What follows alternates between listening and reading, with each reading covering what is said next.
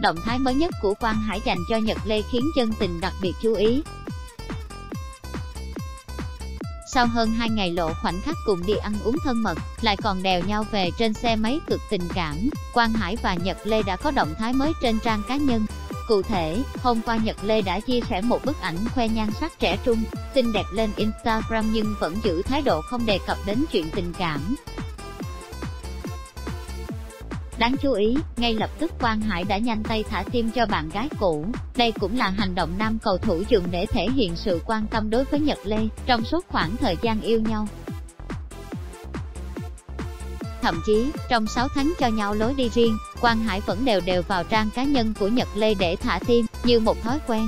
Đặc biệt, cũng trong tối qua, chân tình, còn phát hiện thêm bằng chứng Nhật Lê và Quang Hải đã quay về với nhau, khi cả hai cùng xuất hiện tại một buổi tiệc ăn uống thân mật cùng với bạn bè. Sau khi lộ nghi vấn yêu lại từ đầu, Quang Hải và Nhật Lê cũng không còn giữ khoảng cách mà tỏ ra vô cùng thân thiết, tình cảm. Fan này người trong cuộc có lên tiếng phủ nhận thì chân tình cũng khó tin được đây.